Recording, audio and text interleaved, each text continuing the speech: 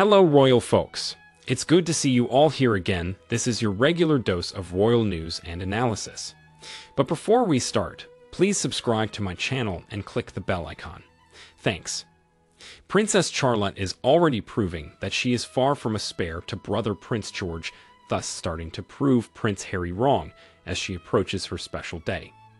The Wales youngster has started attending more things with her parents following the death of Queen Elizabeth II, and despite being only seven, turning eight next week, Princess Charlotte appears to be taking it all in her stride.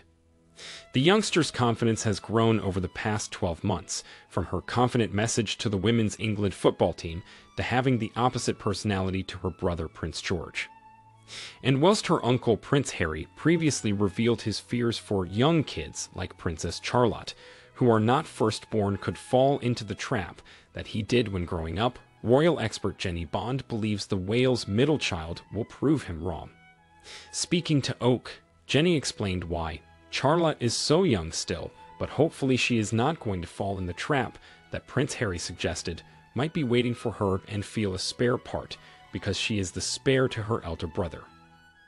She added, I mean, Harry has a huge chip on his shoulder about being a spare. We all know that now, but he doesn't have to assume that William and Catherine's children will feel the same as him. Following the release of his memoir Spare, Prince Harry told The Telegraph, Though William and I have talked about it once or twice, and he has made it very clear to me that his kids are not my responsibility, I still feel a responsibility knowing that out of those three children, at least one will end up like me, the spare, and that hurts, that worries me. But Jennie has likened Princess Charlotte's future role to that of Princess Anne. She explained, look at the look at the Duke of Edinburgh, and particularly look at the Princess Royal, they didn't feel like the spares.